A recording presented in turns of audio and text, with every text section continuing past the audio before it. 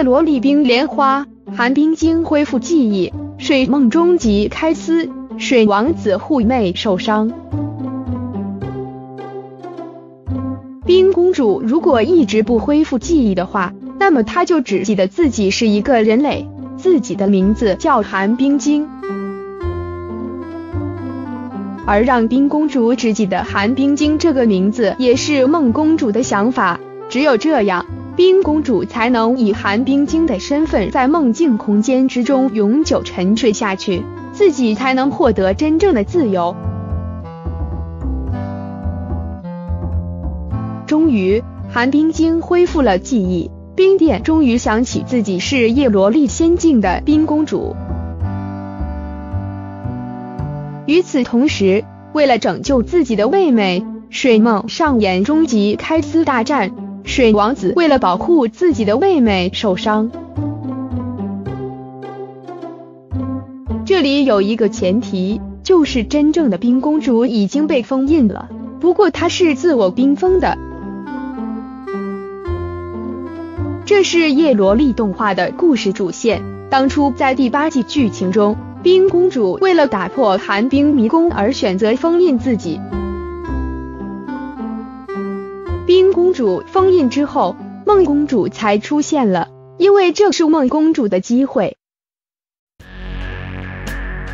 为了拯救冰公主，颜爵和水王子都来到了梦境空间，这也是冰莲花的主线故事。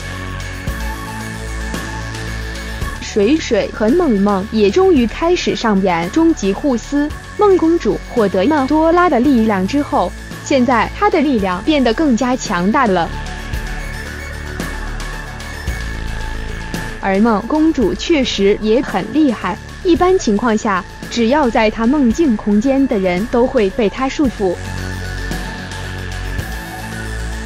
说的简单一点，颜爵就不是她的对手。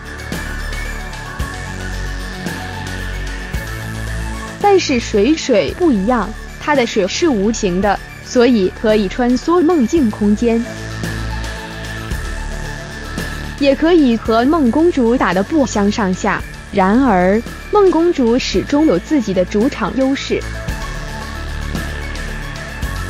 然而，在互撕过程中，水王子还是不敌梦公主，最终被梦公主击中受伤了。这大概才是最悲剧的设定。看来无敌的鹅水水也有不敌的时候，毕竟这是梦境空间，要想击败梦公主谈何容易？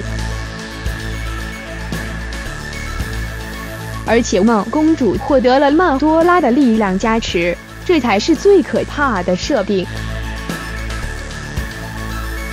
也就是说，梦公主已经变得可以为所欲为了。就看冰公主自己的选择了。不过在打斗过程中，冰公主竟然恢复了自己的记忆，